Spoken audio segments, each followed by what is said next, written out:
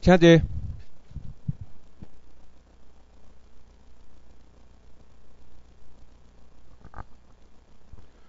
所以我们刚刚谈到一些重点，特别是这个有有一个很大的重点是，你提到一个占领地，你怎么去看？那我就说两个两个现象，就是独立关税区，还有一个这些，还有一个这个他他怎么样去处理那个税务？他怎么样去处理？你看他是政府，他怎么管理那个地方？啊，有时候你有一个 idea，哦，这个其实是已经形成占领地的一种一种情况，所以台湾就是符合这样的情形，它一直就是一个独立关税区，然后没有并入什么另外一个系统。那美国关下下的这个独立关税区，照理说他的税务他都自己处理，就像我们前面谈到关岛，关岛的税务自己处理，他不需要缴联邦所得税。那菲律宾一九四六年已经独立了嘛？菲律宾脱离美国的体系嘛？那 Puerto Rico 关岛啊，还有什么维京群岛这些，也都是美国的海外领土。那他们都有自己的税务。那关岛他的税务他怎么做？因为他们可能严格来说，他不是太习惯用脑筋想很多，所以他就把美国的税务的那一套。就拿过来，然后换个名字，就说关岛税法。所以你看，他的税务是可能跟美国的税法是非常接近。那台湾我们不一定要这样，我们可以你自己的税制度，但是基本上，你如果是一个州，你必须跑美国的那个联邦税务的那个制度。啊，台湾人，我来了这么多年，三十几年，我来了三十五年吧。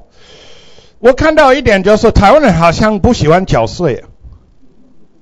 每一个地方你去报什么东西，我说这个多少钱？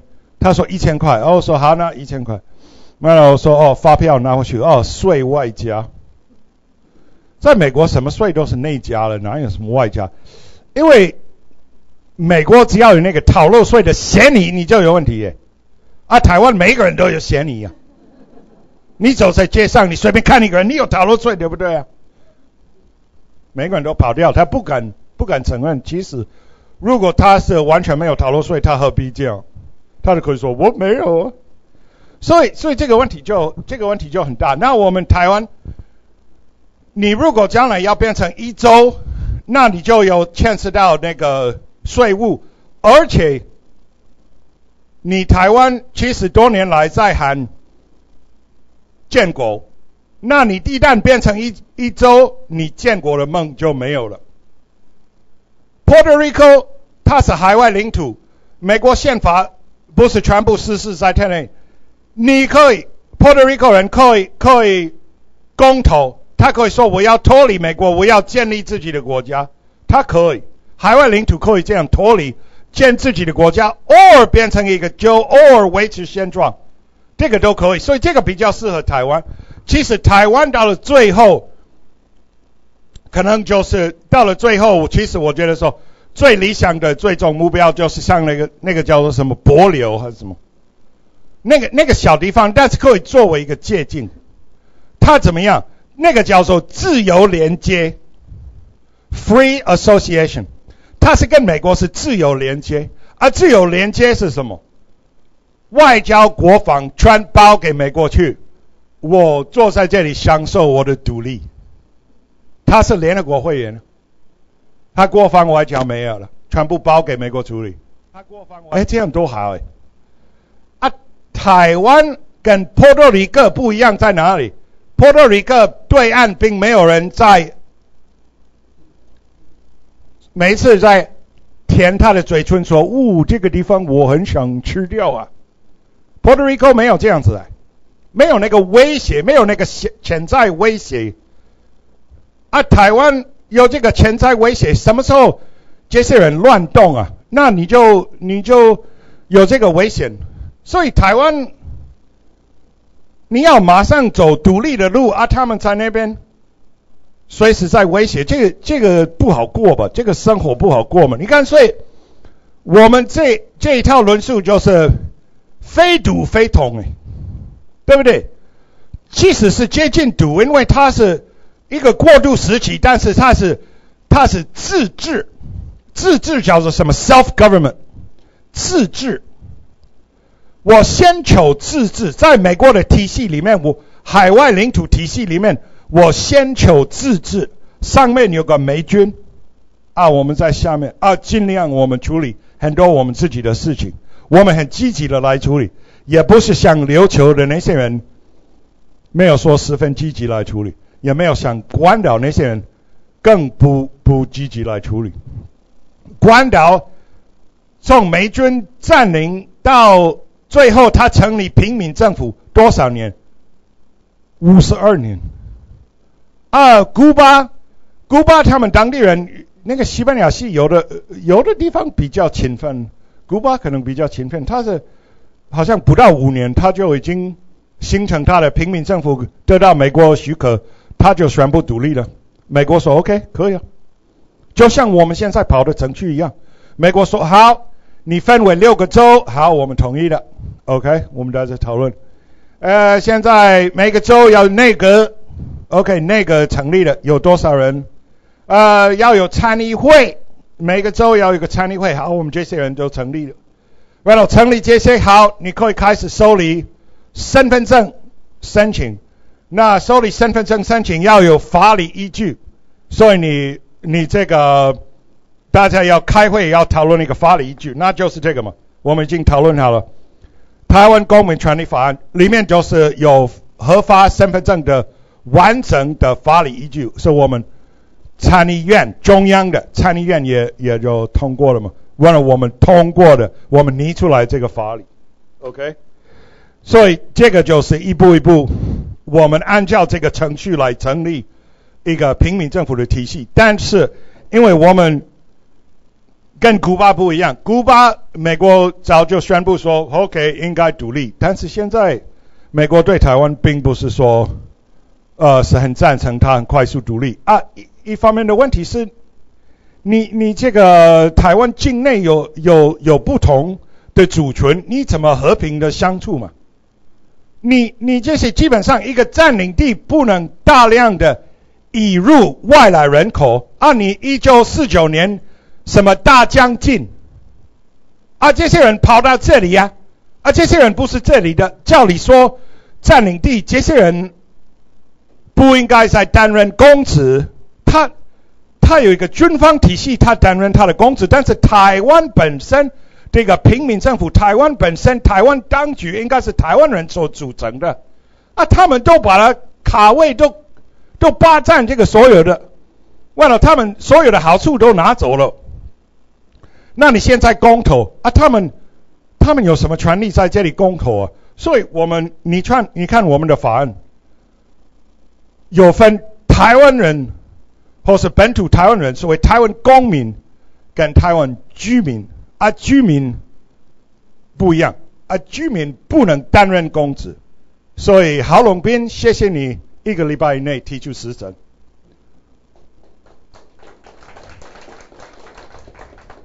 没有呢？好，我派军队过来，我看看。你说这个山头已经抢下来，我看什么山头谁来抢啊？对不对？啊，你爸爸我也是，我也是想我们全面这些人都起诉。呃，这个最大嫌疑贪污罪啊，对不对？多少年的薪水把它乘多少多少，啊，你的财产超过几十倍，这个有问题哎，对不对？所以总统，我们我们将来必须做这个动作。但是这个方案，你从这里可以看，把台湾还给台湾人，这是我们一个很大的目标。你虽然美军在上面，但是我们开始有这样的运转。我就是对那个台独团体，我说好，明天给你，明天给你台台独，那你立法院是谁啊？啊，都是他们的人，你有什么好处？你告诉我。那你十八趴你怎么处理？我说你还你照样是死悄悄的，台独目前是不行诶，就是算给你独立，你你台湾人还是绝对吃不开。你必须这个社会要重新整理、重新整顿，你才有办法出头天呢，对不对？所以我们就说，呃，就像我太太常常在跑农会啊，农会，我他告诉我说，为什么农会的选举会有人弄用刀用枪，会有流血案？农会的选举为什么会这样？他说很简单嘛，他控制得到很多财产，大楼、房产、土地，他都控制得到。所以谁当做那个总干事、那个理事长，影响很多。那那个他控制到的那些财产，他赚的钱出租啊，就回到农会。所以年底尾牙的时候，他抽签是抽什么？是抽。一本林志生的新书吗？不是啊，是是求一套台湾制的餐具吗？不是啊，名贵的汽车、洋房、别墅，一个月海外旅行的那个两个两张票，他就是求这些东西啊。这个钱哪里来的？他的土地，他的房产。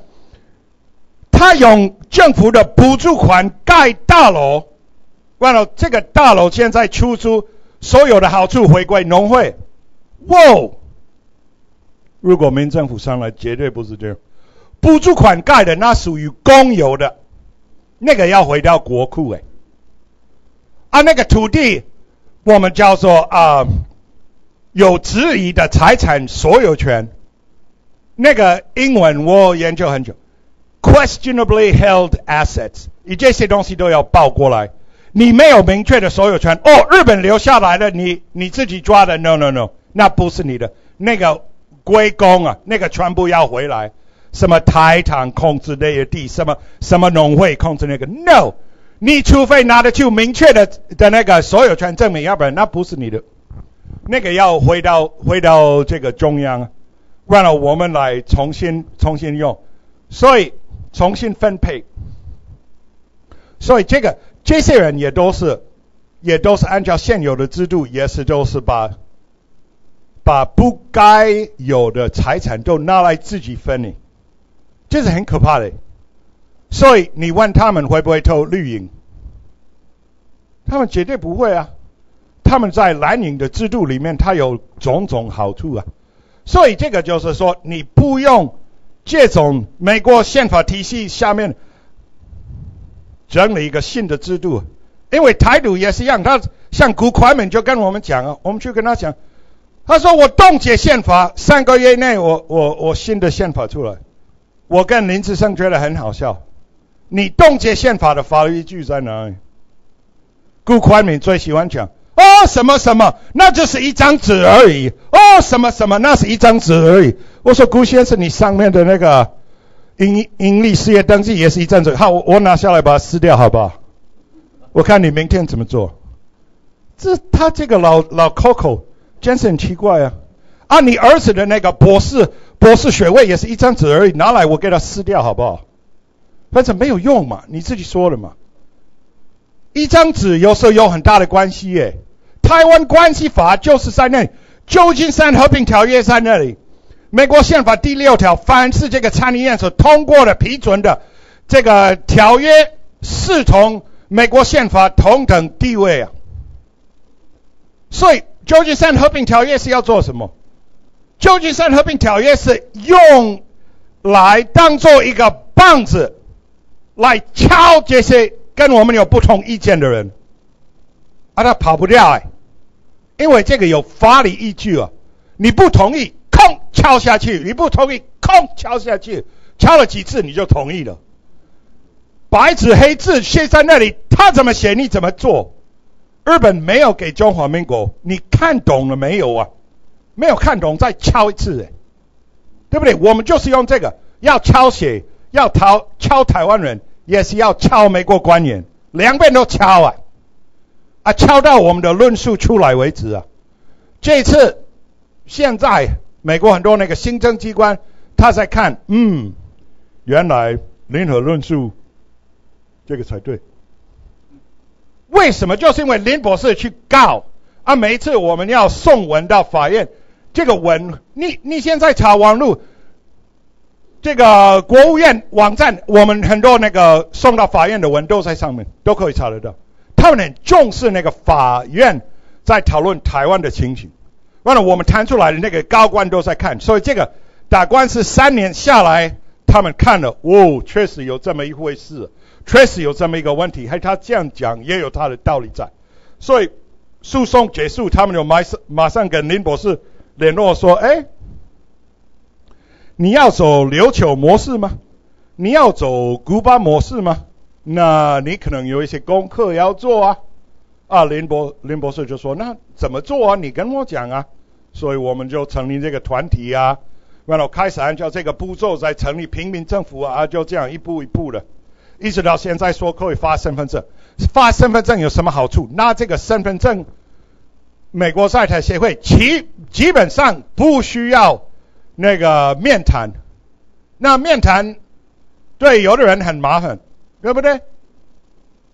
有的人就是通不过吗？哎，你这位先生，你头发怎么这样子？是不是跟宾拉登差不多？啊？哎，你怎么穿这个衣服太松了？你里面是不是放了炸弹了？哎，你这个，你你这个人看起来怪怪的。哎，你签证怎么这样穿了？那个太主观的，他要不要给你签证是太主观了。啊，所以你你的言谈举止，他也可以挑剔。我就是不给你，不需要理由。那你可以除掉那个面谈的这个步骤，拿了签证就走了嘛。但是现在美国跟林志生说，我不要这样做，呃，你就上飞机就好了。啊，林博士说不敢发布啊，他不敢发布啊。如果有，那到时候最好啊。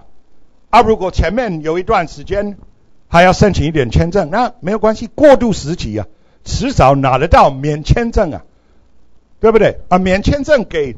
台湾民政府的台湾公民啊，那个拿普普普通 ROC 护照的 ROC 身份证的那个没有。啊，美国把台湾列为什么？你就是今天你去参加国际奥运，波多黎各它是列为什么？它是列为波多黎各，它绝对不是不是列为什么。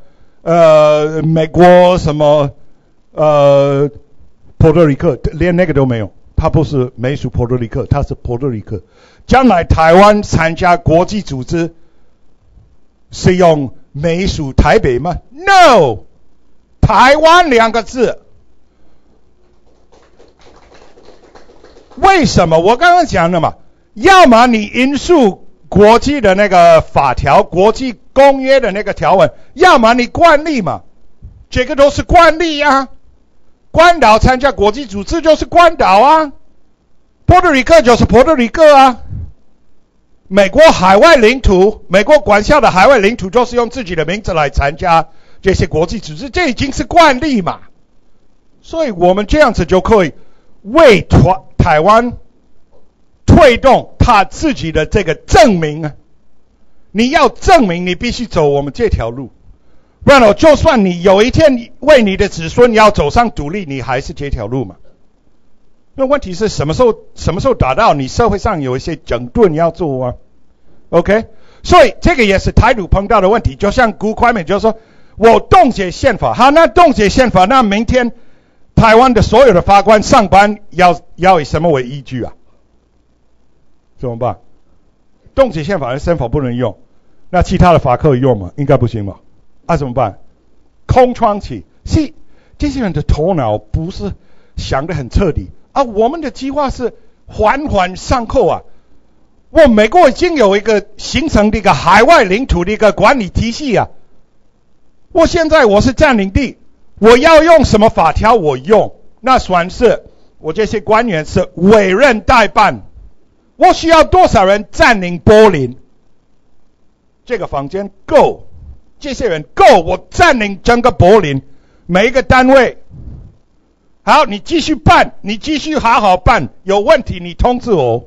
啊，他送过来说，现在美国占领期间，这一条到底要不要继续用？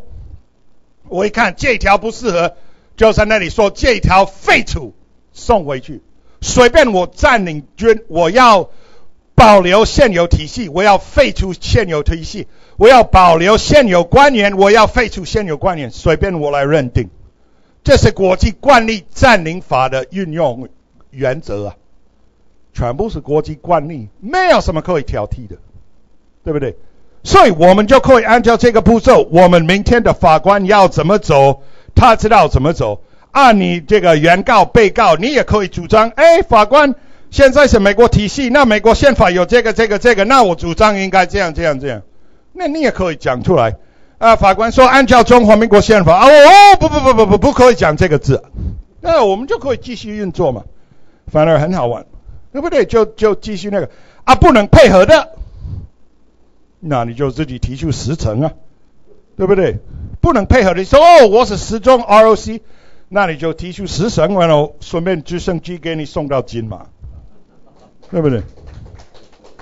不过糟糕，一旦到金马，你发现你属于福建省哎，中华民国到哪里去了？我不知道。你带一个小旗子过去嘛，以免你忘记嘛。还有带一本六法全书，将来金马如果真的可以中华民国管辖，那是世界上最小的地方，有最完整的法律体系呀。近视记录可以写一写，非常好。OK。OK，所以我们我们谈到这些，所以我们有哪些嗯考虑到这个不同的风俗习惯？OK，我们谈到税务独立关税区，OK，这个是占领地，所以台湾是独立关税区，我们不要作为一州。我们这个体系最大的最大的误会都产生在这里。每一个人听到我们的论述，他都说：“哦，你要走五十一州的论述。”美国有五十州，我们说：“No，我不是走五十一州的论述。”我我们现阶段不考虑做一个州，一方面，我们的风俗习惯离北美洲的那个方式比 Puerto Rico 还遥远嘛，我们的风俗习惯不一样嘛，对不对？所以我们要保有我们独特的文化，保有独特文化怎么样做？谁来指定独特文化？当然是台湾人来指定啊，对不对？所以这个我们保有这些东西，然后走自己的方式啊，我们用税法来认定什么是好，什么不好，啊，我们重新把这个都做一个整理。美国体系可以允许我们海外领土做这样的一个重整的一个一个方式。那你要主张说美国宪法修正案第二条保障每个人有枪，我要有枪，那可能不行。因为我刚说的，没有台湾没有这个没有这个文化，除了少数那个山地人以前有自己的枪以外，没有没有这个传统，所以这个不会改变。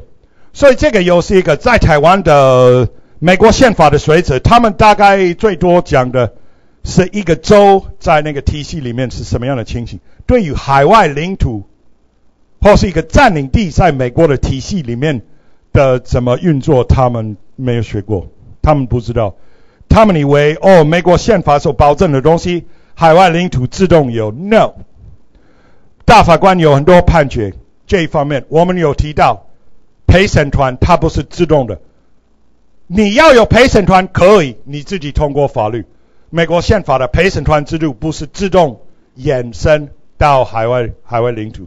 OK，再来。拥有枪支也不是自动延伸到海外领土，OK？啊，其他很多东西你可以看那个，可以看我们有相关判决，也有时候我们网络上也有也有把它写出来做一个分析嘛。但是这个一部分一部分啊，最基层生命财产自由正当法律程序第五条修正案基本的这个。是所有的地区都有运用的生命财产自由 （life, liberty, property, due process of law），这些都是所有美国管辖的地方都可以有。OK，所以正当法律程序，那我们这个地方都可以都可以讲很多嘛。你不能随便剥夺人家的财产。那以前你剥夺的财产，是不是要这个事情要拿出来讨论，对不对？所以我相信。其实，如果我们可以开始运作，然后很多这些官员以前所做的事情，我想不必等我们跟这些官员什么要他提出辞呈，我想很多就一夜之间大概跑走了。因为说哦，这个我们的竞赛卡你以前怎么样怎么样怎么样，大概三天内可以起诉啊，我大概明天他不见了，对不对？因为他以前做的那些行为啊，什么那些，甚至于我们就说，呃，我们在我们在研究你这个戒严时期，你担任公职，而戒严我们不承认是一个在美国占领地的一个合法合法的制度，所以这个全部要起诉。什么做什么行政院院长，什么违法行政院，这个全部要被起诉啊！哦，大概阳明山很多豪宅，第二天就空了，对不对？所以这个好啊，那没关系，我们把它印度回来嘛，我们把它印度回来也可以。所以这个事情要慢慢整顿。那我们就是最终的那个体系就是这样子嘛，我们就是用美国宪法在后面。那美国有什么法律我们觉得比较好？像现在如果有环保的问题或什么，我们可以参我们可以参考美国的一些比较先进的法律。啊，我们觉得要怎么做要怎么做，那我们就说我们现在台湾要用这条啊，那我们就呃这个很快就可以把一些问题就可以解决掉。啊，有什么现在有关食品卫生啊什么那些东西，看到看到电视上网络上。这个谈了多少年？我我碰过外国人来台湾，他就说：“我说你知道台湾维生素怎么样？维生素怎么样？”他看我他说：“台湾有维生素吗？”我说：“有啊。”他说：“哎，奇怪，我坐在那个街头巷尾，看到这么多摊贩在随便卖那些东西，我不觉得台湾有有维生素啊？为什么可以随便？摊贩没有登记，没有执照，我我我非常不同意。这是第一个步骤，每一个摊贩要有登记，要有执照。”这是第一个步骤而已，往后我还要探讨说你食物来源在哪里？你随便在这里买猪肉，我怎么知道这个猪肉从哪里来的？啊，你说是什么病死猪啊？我怎么知道是不是啊？这个要很严谨的控制哎。如果你开始有病菌的这个传染的话，你现在的这个半个台北都死光了，你还查不出原因呢？这个这个管理的太松散了吧？然后就像报纸上都说，呃，把这些不要的这些什么实验室不要的很多东西就拿去后门拿去卖，有没有？譬如说，呃，呃，白老鼠好了，白老鼠试验完了以后，那就卖给某某先生。有无名的某某商人啊，他就每次付现啊，不讲他是谁啊。到后来他去去，然后卖给那个鸡肉饭啊，反正老鼠多一多，那个掺杂在鸡肉里面。如果是好的老鼠，或许还勉强会啊。这个是试验用过的老鼠哎，试验用过的是什么？给了。给它注射这个，哎，这个会不会制造癌症？我试试看。哎，注是注射这个脏东西在里面。后来他死了。哦，卖给这个先生啊，他卖给就你都没有追踪这些东西耶。哇，好可怕！这是什么？五千年悠久历史文化的结果。我我我听的我都想吐哎。所以现在很多那个消息，这个一周刊他不敢报道啊，他宁可，他宁可他只要，如果我是女性，我只要在这里，我只要有一个椅子，我只要坐下来，腿还没有完全那个，他从最后一排就是拍的照，一寸我的内裤，这个明天上头条啊。但是对于台湾的卫生啊，什么那些该报道的，他都没有特别去报道，这很可怕哎，这个很可怕。所以你应该做一些建设性的报道，或是就是说该负责任的，你要要求人家要负责任。所以我们可以，我们可以将来可以做到这个部分。就像我记得我有一天我在看，呃，美国有关那个呃广播媒体，包括报纸、电视、收音机所有的那些，我在看他的规定。我觉得到时候我们就是可以把这个整套的规定可以拿来。他怎么样？我们台湾常常就是用二分法，这个事情是本国人所谓本国人可以做，外国人不能做；而这个事情是外国人本国人都可以做，而这个是，不过台湾当然还加上一个华侨，他可以做，可以不做这些东西。那美国的那个它不一样，你如果是，你如果是俄国人，你要到纽约成立一个电视台，可以啊，但没有限制啊，没有限制你不能，你是财团，你要是，问题在哪里？你在纽约，你有多少当地关系？你为纽约做了多少事？你在纽约住了多久？你这些东西他都要看，OK？所以我是一个外国人，我住在纽约二十年，我参加多少的社团，我有多少的这些朋友，我担任做什么顾问的什么那些，我当地的关系有这么多，OK？那我现在要成立一个电视台，可以啊。但是你说空降，或是就是说。像台湾我们所看到的中国投资这样的一个电视台，那你资金来源在哪里？而中国的不可以，为什么？他没有在这里呀。如果他是这里一个企业，啊，他要投资你电视台可以呀。他企业在这里有什么样的关系？有什么样的记录？种种，不随便海外的人要来，然后就变成操控这里的媒体？No，不可以。所以将来。所有的媒体要重新登记。如果是我一周开始，绝对不给他登记。你回到香港去，我不要这种新闻。人家有隐私权，明星也有隐私权，一般人有隐私权。他坐在那个理发厅，一边看杂志，一边理发，一边挖鼻孔，管你依旧看什么？这个是他的隐私啊！你那个黎智英，你回你法国去，你回你香港去，我不要你这个垃圾刊物，对不对？你破坏社会秩序嘛，对不对？除非你改了。啊，林志生也讲了，讲错话，他要有一批人，就像中国不是有很多人在每天看网络，看有什么对他们政府不利的消息，我们这里就是。每天养很多人，就是看那个杂志，看那个报纸，每天在看。你讲错了什么话？你说中华民国本来在台湾有主权，不到中午我罚单就到了。中华民国在台湾从来没有主权，你宣布谣言，你这样不实新闻，罚你多少十万？你必须十二小时以内缴缴款，要不然明天不给你出刊。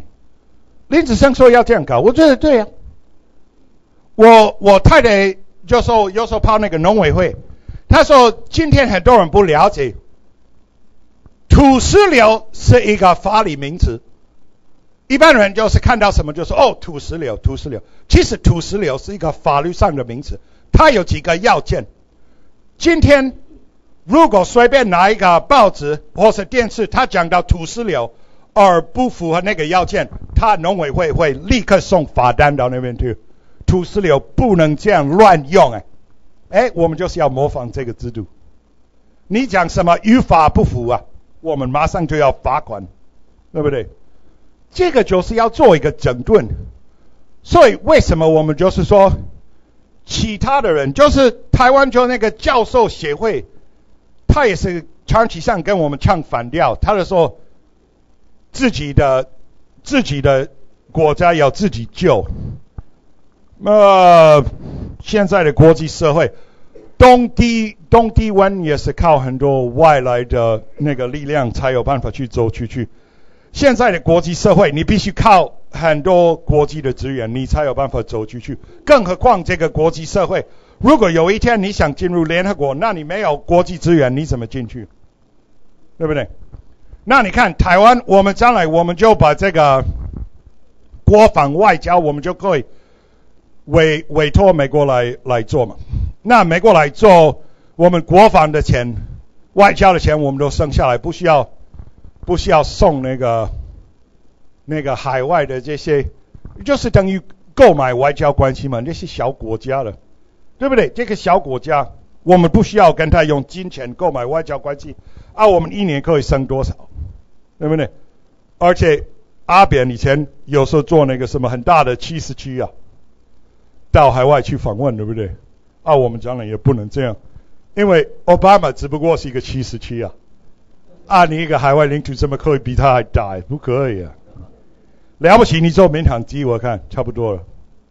所以这个，但是这个过程中我们省了多少钱呢？啊，国防更何况，对不对？台湾台湾很多那个国防的那个系统，其实它有的是地方，它有 A 系统、B 系统、C 系统、D 系统，问题是都没有连接呀，没有用，没有用。更何况现在的战争也不是靠什么坦克车什么那些东西，都是一定是一些飞弹，都是一定是用人造卫星，都是一定是什么什么什么，你必须随时能够控制得到这个这个整个场面。那这个包给美国去做，啊啊啊这样子的话，他就不敢他就不敢侵犯我们。啊，你美国就是派那个飞机、船只还有这个相关人员来，那人家问说。会不会违反台湾关系法？你拿来看，他不是说卖，他是说供应哎。美国这样做是丝毫不违反台湾关系法，供应 provide make available，没有没有任没有任何问题啊，对不对？所以我们将来我们进入这个体系以后，那我们可以整顿。哎，那留下来的那个军人啊，如果美国国防部要吸收了也好。派到阿富汗嘛？这些人就说：“我我是一个忠实的中华民国的的这个军人。”哦，好好好，阿富汗前线很需要你这样的人，非常需要，对不对？你就你看到那个带着那个包头的，你就开枪啊，对不对？就冲过去嘛，冲过去，哎，带着你的那个小旗子，冲过去，这个可以解决。这个就像那个韩战。韩战的时候，为什么为什么韩战爆发？啊很多台湾的历史学者就跟我说，这个中国啊，他留下来很多国民党军队啊，他不知道怎么处理。那最简单的方式，宣战嘛，把那些国民党军队都排到前线啊，很快就没有了，就解决了。他说韩战一个很大的原因就是这个，他要消掉那个国民党的军队啊。我想这个有道理，所以为什么美国就没有？没有看懂这个寒战，为什么在打这个？打那个干什么？就是这个原因呢。所以这个这个是这个华人的这个思考逻辑啊，这个跟美国的不一样。OK，所以到到今天为止，呃，我们那我们回到呃很多事情，像言论自由，现在美国宪法有保障什么言论自由，但是这个时代。言论自由有一点不一样，言论自由跟几百年前不一样。现在普遍世界上有一个有一个观念说，你不能散播那种恨人的那种那种说法。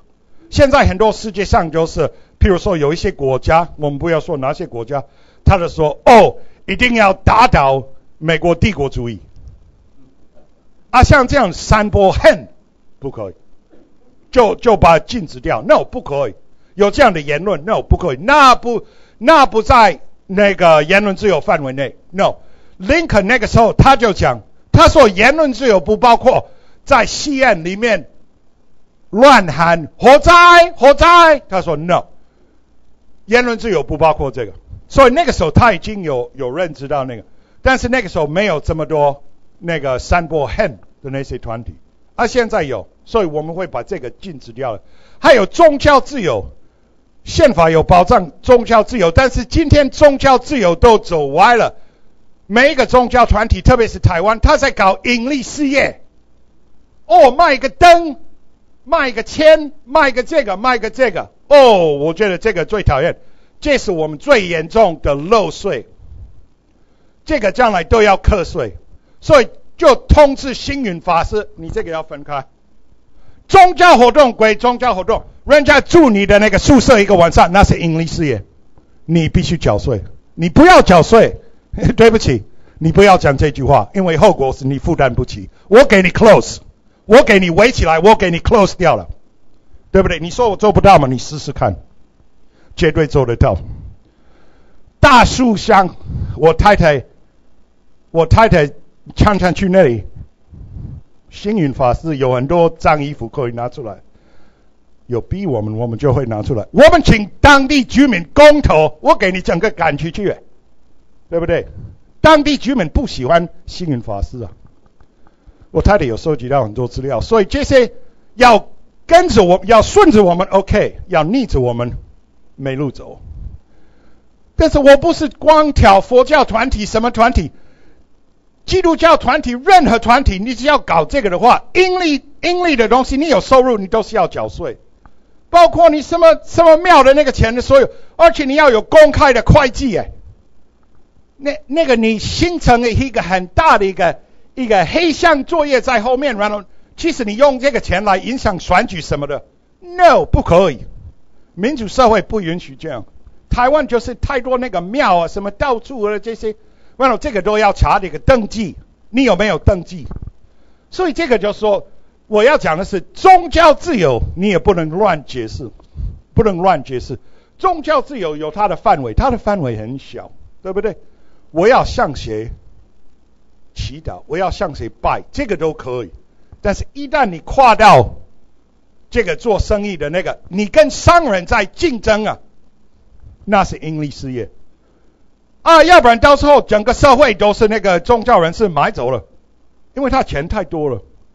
我们有一次，我跟我太太去南部，呃，我不知道在哪里，我们停下来参观一个什么，一个很大的一个，比这里你看外面任何这个都大，而且这些是铁皮，有的是铁皮做的，它那个是很好的砖块，然后那个瓷砖的什么呢？我们进去啊，我看差不多有十层楼高啊。差不多十层楼高，完了上面有有画五六个图啊。他说最上面有画五六个图，我说这几个图是什么？他说有儒家的，有道家的，有佛家的，有基督教的，有阿拉伯的，就是他认为世界的这个主要的宗教啊，都画在那里。完了上面都是烫金的，都是金的，就是全部里面这个装潢的，哇，差不多要戴太阳眼镜啊。金光闪闪的啊！他就跟我们我说：“哎，奇怪，我们这一代我们哪一个地图啊，观光地图，你这个地方没有写。”他说：“我们永远不会写在观光地图上。”我说：“你不是外面有些可以进来参观？可以啊，那为什么不写？”他说：“我们这个才十几年，我们不够老啊。当然，观光局不会说给我们注明上去啊。”我说：“哇，这么……我说。”就以基督教来讲，一个地方可以转换的这样，那是全美国很多人会来看。他说：“这个我不懂，我只能告诉一句话：我们在台湾算是最穷的教会啊，最穷的。它里面的那些，哇，好像比一个皇，比我所想象的一个皇宫还要漂亮哎。”他说：“我们是最穷的，我不骗你啊。”哦，讲的这些这些。所以你看，他凭什么赚这些钱呢？那你就知道啊，他在搞很多很多盈利。我们去台北市里，他说点个灯两千，都不用缴税啊。哦，这个对不起，这个不是宗教自由，这个不可以，不可以，这个都要缴税。那你说缴百分之，缴百分之多少的税？你把它加上去，随便你啊，那是你的事啊。你如果要缴百分之十的税，那现在点个灯要两百二，可以啊，我无所谓啊，反正你要缴税啊。现在变成台湾的税制很很糟糕，你知道，如果一个外国人去那个国税局，我我曾经有个外国朋友很好笑，他的去那个国税局就说，我没有收入，我当然不要付税，所以就给我一个免纳税证明，我就可以办理一些手续啊。啊，那个国税局怎么看？哇，你这个人。嗯，不错，一表人才哦。你这个人在台湾一个月哈，起码一定有七万块的收入。七万块，你说多久没有缴税？三年，三年，三十六乘七，不不不不，你的税我们就算百分之多少？好，第五号窗口缴钱，然后再回来拿税证明，就这样，就这样算了，就这样算。他认定你多少就是多少，没有任何申诉管道。好，OK。那这个是一种做事的方法，其实 maybe 从某一个角度它有它的合理性。问题是台北市有多少人不缴税？那你有没有去查他们的？哦，no no no，外国人因为没有投票权，所以你随便整我们就很好整啊。哦，在我们附近的人没有缴税，你有没有挨家挨户说，哦，你这里住了五口，我只有这个小孩子不算啊，大人有三个，这是有一个缴税，那另外两个你怎么生活？哦，这个有问题。哦，你开摊贩每个月赚了几十万，哦，所以这个又是回到整个社会的运作制度。美国绝对不会说有什么啊，什么路边摊贩那些那些没有登记，那个每一个都要有登记诶。每一个都要有登记，所以这个就是全面的一个制度。另一方面，我们的税制就是，我相信我们可以，我们的税比美国低耶。但是我们要有一个合理的制度。既然台湾已经有一个全民健保，应该是比美国好啊。那说不定将来美国要学怎么搞个全民健保，说不定他要过来跟我们上课诶。对不对？我们还可以收学费啊，对不对？那这个学费啊，好啊，给老师一点，其他归国库。啊，我们的全民健保其实现在也有很多漏洞，我们那些漏洞也要去抓嘛。有很多有很多问题，虽然它是不错的一个制度，比比很多国家好，但是我们还是有漏洞可以去抓。我们还有人在乱报、乱看病，什么拿药拿去卖啊，什么一大堆乱七八糟的，这些也都要去抓。对不对？但是到了最后的结果是什么？我们可以有个合理的税制啊。每一个人要缴税，但是我们要有一个合理的税制，不是太高了，不是太低了，比较低啊，这样子更多外商会来嘛。因为我们我们这个 ROC 嘛，ROC 现在到处都有嘛。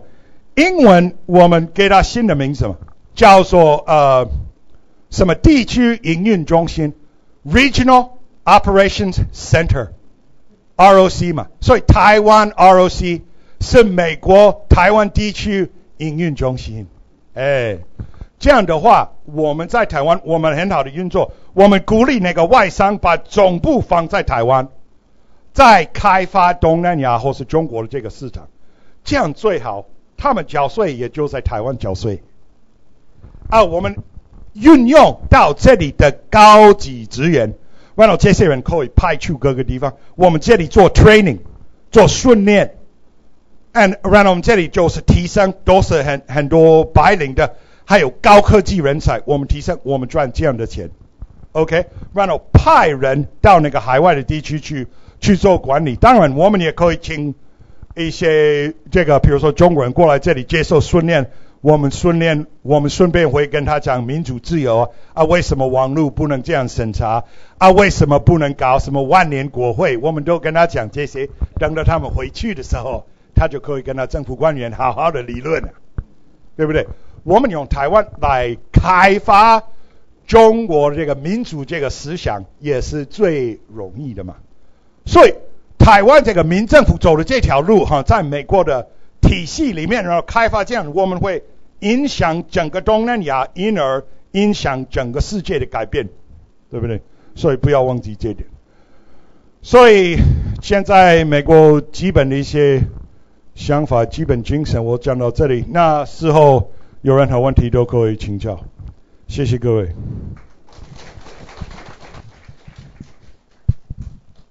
起立，敬礼。请坐，来，赶快休困。